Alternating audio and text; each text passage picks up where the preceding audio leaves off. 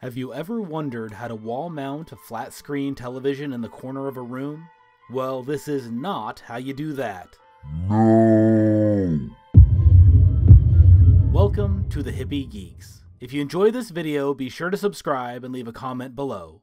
Let's rewind about 30 minutes back to when this entire project started. This is what our TV area looked like originally, which was always intended to be temporary. We want to wall mount the TV a little higher and bring the speakers in closer to open up the space on either side. The chests under the TV will be replaced with an entertainment center that we are going to make out of an antique set of drawers. For now though, it is time to get the TV pulled out and everything disconnected so that we can start the install of the corner wall mount. The first thing to do is get the mounting hardware bolted up to the TV. Any decent wall mount will come with the pieces you need to get the TV mounted, just make sure to look through all of them to find the right ones. Our TV has a very large VESA mounting pattern, as most bigger TVs will. I had to use some of the longer bolts on the bottom and shorter ones on the top, both with spacers to be able to use the bolts without having them bottom out inside the TV. After that, I set the rest of the mount on the TV. I wanted to make some measurements to determine how high on the wall the top bolt hole would have to be placed. Once that was figured out, it was time to get the mount set up in the corner. We had a small corner shelf mounted behind the TV to hold a couple components, and that would have to come down to make room for the corner wall mount. It pulled some of the paint down with it, but as we are planning on repainting the room soon anyways, I am not going to worry about it right now. Once the walls are cleared off, it is time to find the studs in the wall. While it is possible to use wall anchors to mount in drywall, with something this heavy I am just not willing to risk the anchors pulling out of the wall, and so will be bolting the mount directly into studs. To be able to find your wall studs, you will need an aptly named stud finder. You can get a fairly inexpensive one online or in a home improvement store, and they are well worth the investment.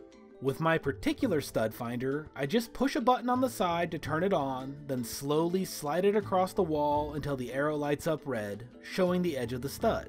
When the red arrow goes out again, that shows the other side of the stud. Once I knew where the stud was, I measured up from the floor where the top bolt needed to be, and then pre-drilled the hole with a bit that is half the size of the bolt that will be used. When bolting something like this to the wall, you want to be sure that you are bolting to the middle of the stud for maximum amount of strength and to avoid splitting the stud. I also like to screw in the bolt about 3 quarters of the way without the mount on the wall, just to get the hole started and make it easier once the whole assembly is up there. At this point, you can grab the wall mount and get it up into place. This is considerably easier with a second set of hands, but can be done by yourself if necessary, as shown here, and once the bolts are started, it will hold itself in place. Ratchet the bolts down fairly tight, then grab a level before pre-drilling the bottom holes. Place the level on the side of the bracket, adjust the angle until it is level, and then drill your bottom pilot hole. Get the bottom bolt started, and then tighten the top and bottom bolts all the way down. Once you have that done, pre-drill the final middle hole and get it tightened down as well. If you have tightened everything down nicely and all of the bolts are hitting a stud, there is no way that this thing is going to move. Next up is attaching the TV onto the wall mount. Do not do this part on your own. The nightmare that I showed you at the beginning of this video is a direct result of doing just that.